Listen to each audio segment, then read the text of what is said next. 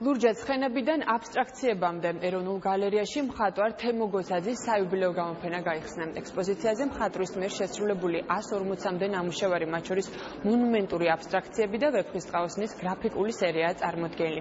გამოფენაზე ცნობილი ქართველი ხელოვანი კულტურისა და ძეგლთა დაცვის მინისტრმა ქართული კულტურის განვითარებაში შეტანილი წვლილისთვის ხელოვნების ქურუმის წოდებით დააჯილდოვა.